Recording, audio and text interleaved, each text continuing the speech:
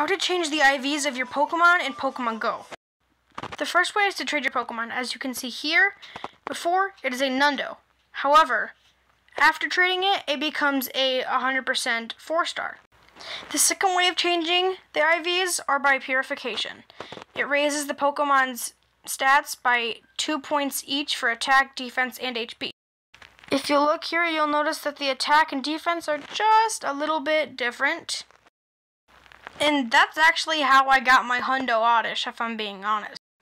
And if I'm being 99% honest, I was going to use this trick to uh, get a Hundo Mewtwo. However, my problem was I noticed that it would only turn out to be a 14, 15, 15. So just barely a 3 star and not a Hundo.